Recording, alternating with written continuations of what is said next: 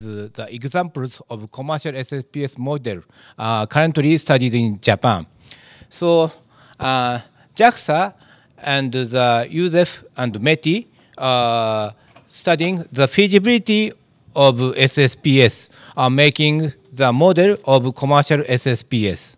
So this model was made by uh, USEF and METI. METI is the Ministry of Economy, Trade and Industry. So this model uh, is called a basic microwave type model.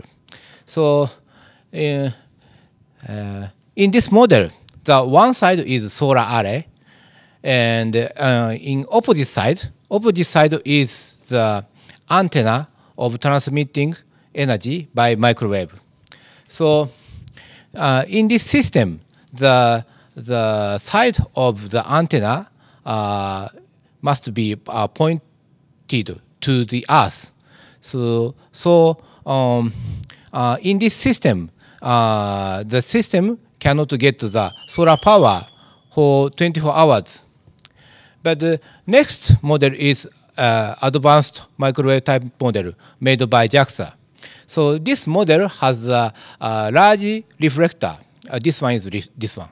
So using the ref using reflector, so this system uh, can get the solar power for about 24 hours.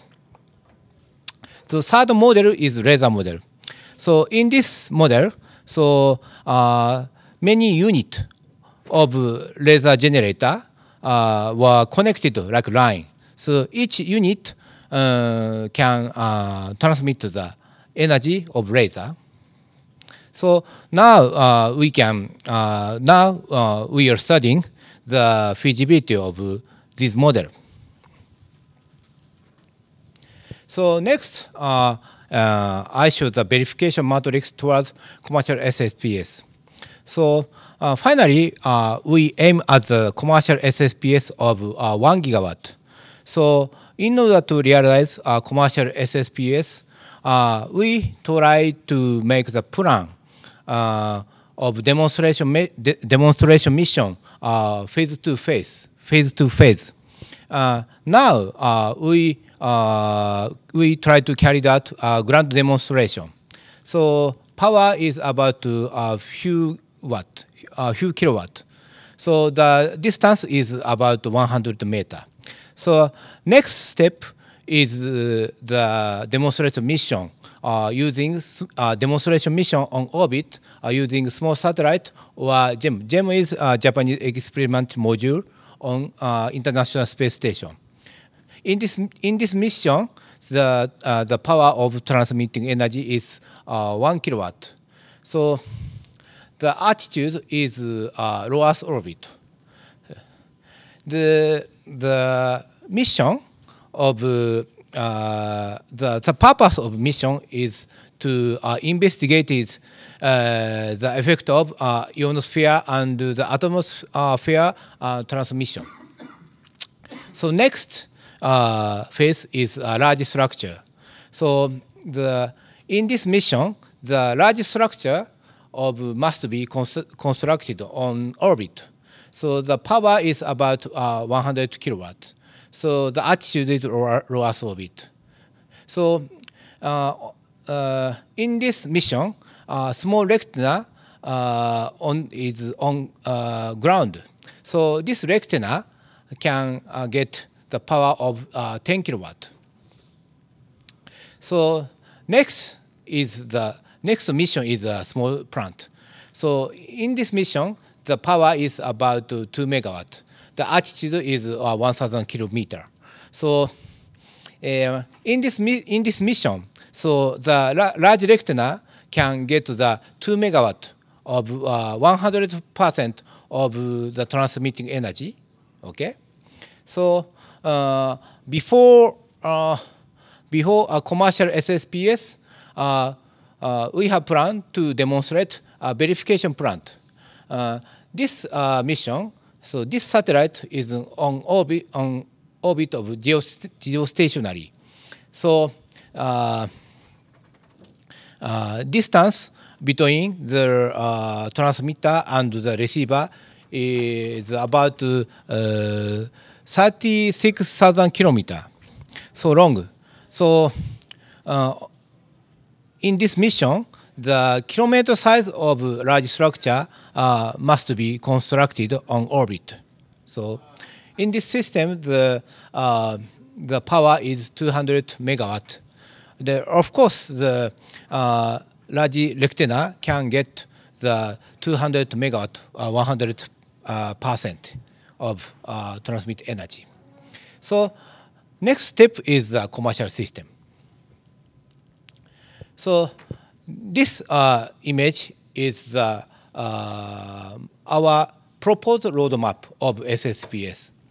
Uh, this roadmap has a three phase, uh, research phase, uh, development phase, and commercial phase. So in research phase, so we, we have planned to carry out uh, ground demonstration and uh, small scale on orbit demonstration using uh, small satellite or uh, Japanese experimental module. And uh, 100, kilome 100 kilowatt class on orbit demonstration. So in this research phase, uh, uh, we have planned to select uh, of select the type of energy, microwave or laser, and we have planned to select the configuration of satellite system. So the next phase is development phase. In this phase, so uh, we have planned to make the bigger system of SSPS. So uh, we have planned to carry out we have planned to carry out a 2 megawatt class demonstration and uh, 200 megawatt class plant. The finally, so in commercial phase, uh, uh, we have planned. Uh, we aim at the uh, realization of 1 gigawatt class uh, first commercial model uh, around uh, 2035. So um, in our target, so in our target, we aim at the we aim at the commercial SSPS of practical uh, use uh, at um, in uh, around 2040. This is our roadmap of proposal. proposal. proposal. So next, um, uh, I showed the experiments of uh, transmitting energy. Uh, at first, I showed the uh, my, uh, microwave power transmission experiment on the ground. So uh, this is an image of transmission experiment on the ground using microwave. So in our spec, so the antenna of transmitter is the size of antenna is 1.6 meter times 1.6 meter. So this antenna has four panels uh, movable to each other. The power of transmitting is uh, 2.8 kilowatt. Uh, frequency, frequency is 5.8 gigahertz. The efficiency of changing um, uh, changing uh, from uh, electric power to microwave is more than 40%. Uh, and the microwave beam control is retrodirective control using pilot signal from rectenna side. And the size of rectenna, uh, which is a receiving system, the size of uh, rectenna is 2.5 meter times 2.5 meter. And uh, this rectenna has 72 modules. So DC conversion efficiency is more than 17%. And the distance is uh, about uh, 100 meter. So now uh, we have planned to carry out this uh, transmission experiments in 2040, uh, sorry, 2014. So next is the uh, image of laser power transmission experiments on the ground. so in this spec, the laser output power is 1 kilowatt. So wavelength is uh, 1.06 micrometer. So the range of transmission is 100 meter. A beam control is several microradian. So receiver uh, output power is 0.2 kilowatt. um, uh, in fact, uh, so about three years ago, about three years ago, the laser power transmission experiment uh, was carried out. But so this facility is near the area of a big earthquake. So earthquake happened, and uh, this facility was damaged. So now um, we don't have uh, plan to uh, carry out uh, this transmission experience again now. So next uh, is the experiment for assembling large structure of SSPS. Uh, this is the image of uh, test on the ground. So this structure has the panel unit for antenna and the power generator, this panel, and the truss structure uh, of uh, deploy and connection. So uh, in the in the fairing of launch vehicle. So a panel and truss structure uh, are folded like this. So on orbit, on orbit, so uh, this uh, structure is uh, deployed and the connected next of structure. So repeating the uh, deploy and uh, connecting uh, this structure again and again. So at last, we make the large structure like this. So this experiment uh, will be carried out in uh, 2014. 14. So next, uh, I show the two possible platforms for SSPS uh, wireless power uh, transmission experiment in the near future. So one is one image is uh, efficient launch vehicle for small satellite. So uh, next generation uh, solid propellant uh, rocket to reduce the cost by a uh, third of the that of the uh, the former M5 launch vehicle. First flight will be uh, 2000, uh, 2013. So one platform is the Japanese experiment module. The JEM, uh, we call Kibo, on the International Space Station. There, this is uh, for science and technology research mission uh, extended for five years. So now uh, we have uh, uh, studying the uh, demonstration mission on orbit using this rocket or Japanese experimental module. So now we are studying the demonstration mission on orbit. So one of the candidates of demonstration is uh, microwave power transmission experiment from small satellite. So uh, this uh, the orbit orbit of this mission is low Earth orbit, uh, 370 kilogram, uh, kilometer. The satellite weight is uh, 400 kilogram, and the mission weight is 200 kilogram. So uh, transmission power is 3.8 kilowatt. But uh, in this mission, so uh, antenna is uh, too small to receive enough power on ground. So the purpose of this mission is to uh, investigate the effect of uh, ionosphere and uh, atmosphere uh, transmit. Next mission is microwave power transmission exper experiment from JEM.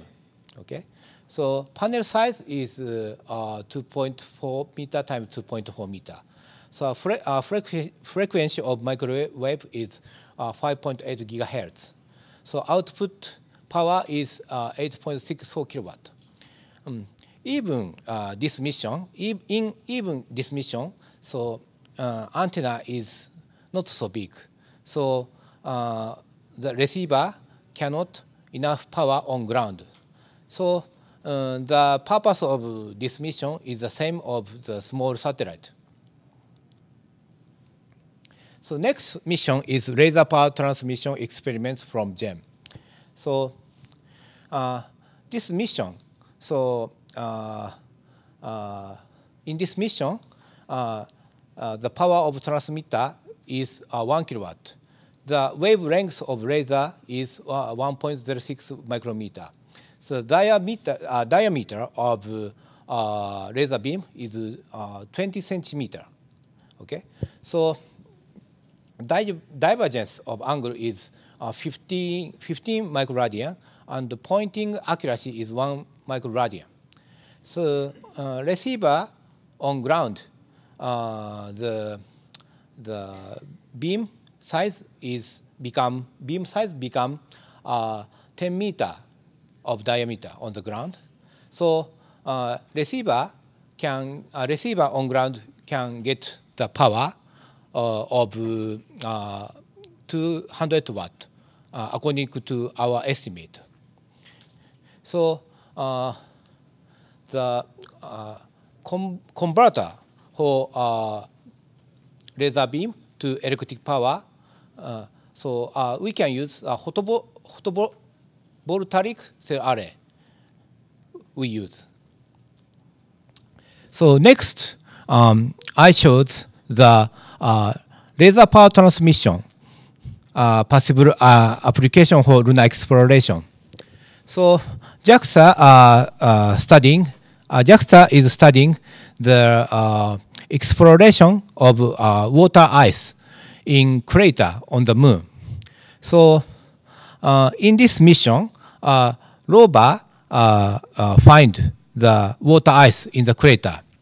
So of course the rover need the electric power, but uh, in the moon, uh, the half, uh, in the moon the half of month is night.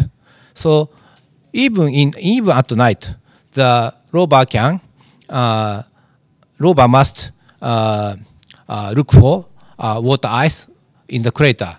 So uh, laser SSPS can uh, supply uh, the energy to the rover.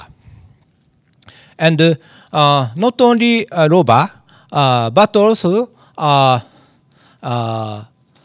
lunar base can receive the electric power from the laser SSPS. So uh, laser SSPS can contribute uh, the lunar development. The, this is the image of the lunar development. The, my, present, uh, my presentation is uh, finished. Thank you.